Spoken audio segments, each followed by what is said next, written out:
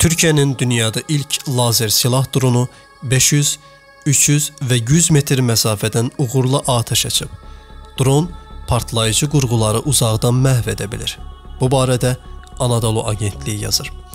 Eren adlanan dronun maksimal uçuş hündürlüyü 3000 metrdir.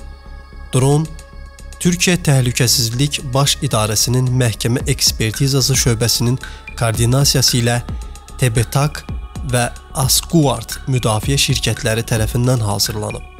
Bütün sınaq mərhələləri başa çatdıqdan sonra dron ölkənin silahlı qüvvələrinə təhvil veriləcək.